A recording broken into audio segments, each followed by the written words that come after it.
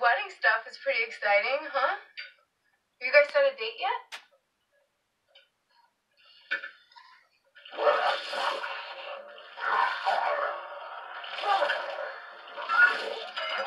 What?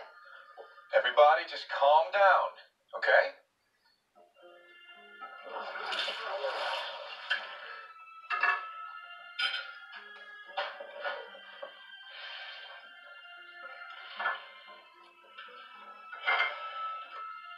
Sorry.